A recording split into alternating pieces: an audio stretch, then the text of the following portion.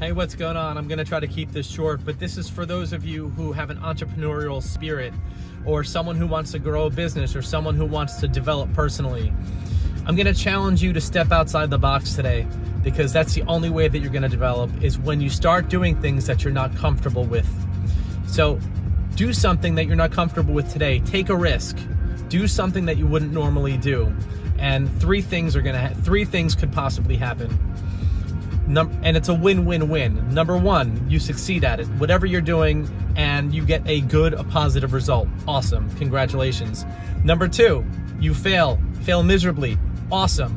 That's a success in itself because the more you fail, the more you grow, the more successful you can be.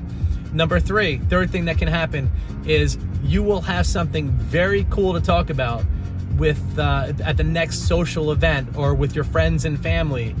Whether you succeed or fail, you are starting to build experiences in your life. And sometimes the most interesting people to talk with, to talk to, and talk with are those who have overcome their trials and tribulations and they have built up these experiences. So, why don't you start building up your experiences today and uh, step outside the box and do something that you wouldn't normally do? And I'd love to hear about it.